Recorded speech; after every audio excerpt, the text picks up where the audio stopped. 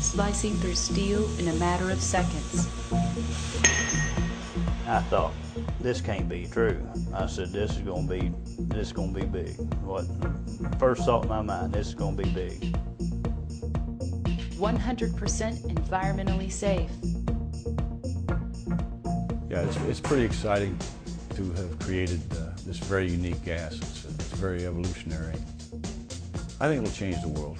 Uh, in our, in our own, own, small way, which will get bigger, uh, we'll, we'll, change the world. And, uh, and it'll make it a better place, that's for sure. Producing results that have never been seen before. I mean, how can you not love it? It's three times as fast. It's so much cleaner. Once you get accustomed to it, nothing else will ever be good enough. Sound like science fiction? It's not. It's here, it's now, it's HHO gas, and it's evolutionary. Yet the source of HHO's energy has been here since the dawn of time. In fact, it's one of the most common substances in the universe. Water. For centuries, man has tried to harness the power of water, and as early as the 19th century, scientists narrowed their focus to the two comprising elements of water, hydrogen and oxygen. They knew that these two individual gases could be produced from water, but found it was very expensive to do so, requiring tremendous amounts of electricity. In addition, the resulting quantities of hydrogen and oxygen were small and extremely dangerous if not handled properly. As a result, Many believed for decades that there was little to no commercial future for water as an alternative fuel source.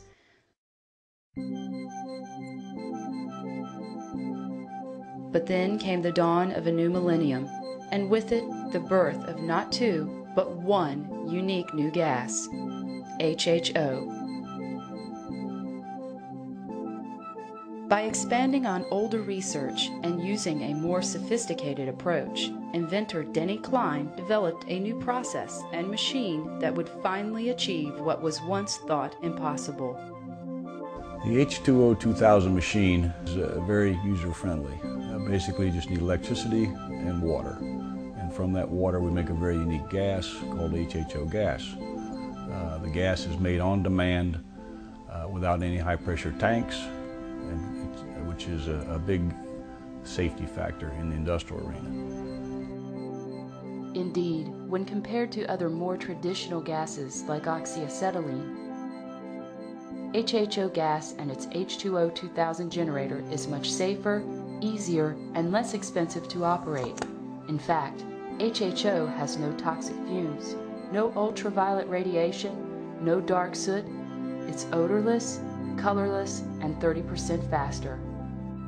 I've been uh, welding, steam fitter, plumbing for 26 years. My granddad has been doing it for 55 years now. Uh, we've seen this machine, both of us were just blown away uh, by the applications and we're burning water. It just blew us both away.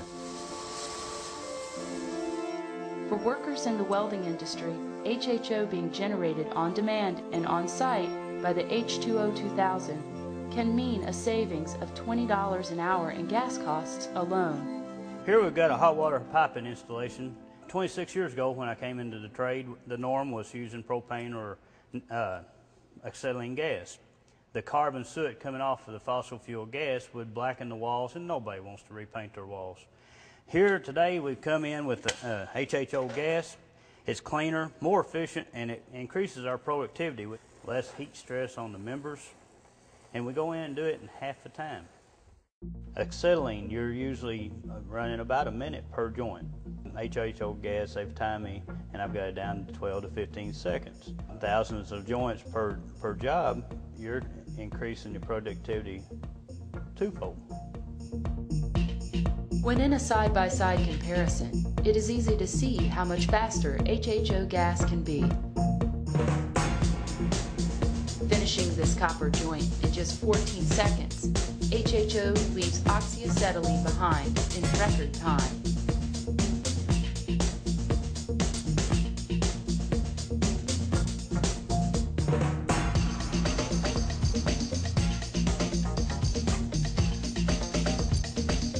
We go in, the contractor's making money, the homeowner is saving money, and we're making money because we're working. HHO's flame itself is only 259 to 279 degrees Fahrenheit, but reacts quickly with whatever it is applied to. Our temperature is 259 degrees. We can instantaneously start cutting the steel right away. So we went from 259, 1400 degrees. This is refractory brick. We can literally burn a hole right down through the center of that brick, so we jump to 4500 degrees. We can go from 4500 up to over 10,000 degrees. We can totally sublimate tungsten. That's at 10,000 degrees. Very concentrated flame, doesn't burn my fingers. In robotics,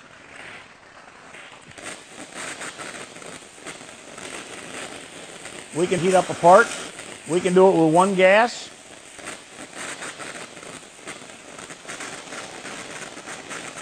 We can heat the part up very, very quickly. As you can see, it's cherry red, and the whole part is, is consistently cherry red. This is a barbecue grill briquette. Again, we can get that cherry red in just a matter of seconds, instantaneously when our gas hits it. Normally that would take three to five times longer, and they would never get the BTUs that you get using our gas. This is a piece of ceramic. Again, in the future, an anode, as you can see, instantaneously, we can get thousands of degrees of temperature. We've gone over 13,000 in the laboratory. For the Navy, we've also done another project where we uh, cut lead. And again, we can instantaneously cut lead like a piece of butter.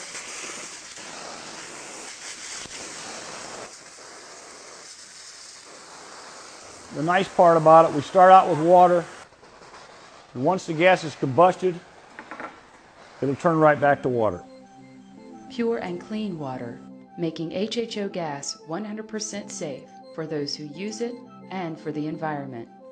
Safety was one of the major reasons uh, that I was so attracted to this system uh, because for a long time it, we've taught the oxyacetylene system as a normal part of machine tool technology and uh, I literally was frightened for the young people because acetylene is such a volatile and explosive and unstable gas to use. Donald Wan is an instructor at the Fulton County Area Vocational School in Kentucky. He has found HHO and the H2O 2000 safety features to be a tremendous asset when working with high school students. You probably need to reduce your RPMs just a little bit. Very good. Our main focus here at the Fulton County Area Technology Center is preparing young people for life. We teach uh, high school aged young people, uh, 10th, 11th, and 12th graders, uh, oftentimes are just beginning to seek what direction they're going to go for their workaday world or to further their education. Here in my classroom, I teach machine tool technology, and we have a pretty full spectrum machine shop, all aspects of it the computerized, the digital, the general machine, and of course, a big part of that is the welding part, and that is where HHO technology has fit so well with my class. Just the safety features was such a wonderful aspect of it that it is not explosive as acetylene is. It puts out no ultraviolet light, so it can't be damaging to their eyes. There's not many ways that you can maladjust this machine, and so they can't get too much pressure on one side or the other, and every aspect of it is a positive. Myself, going into mechanical engineering, I would rather work with HHO than acetylene, because acetylene is primitive. Acetylene is hazardous, toxic to breathe, um, explodes easier, costs more to run. After I get out of engineering school, um, hopefully design, build, use HHO on some of my work. HHO technology replacing the oxyacetylene system uh, in, in the industrial world, in the educational world, in any aspect, as far as I'm concerned, is a done deal.